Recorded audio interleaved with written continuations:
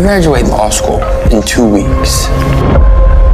How do we define who's at fault? Tommy.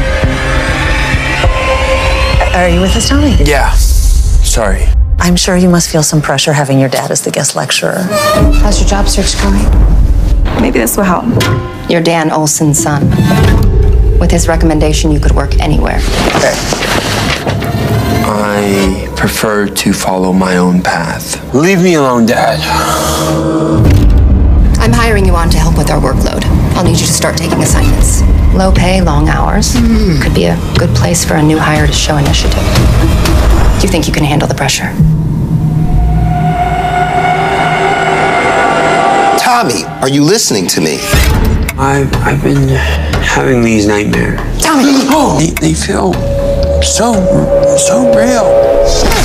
And I, I'm seeing things. This is your fault. Should we be worried?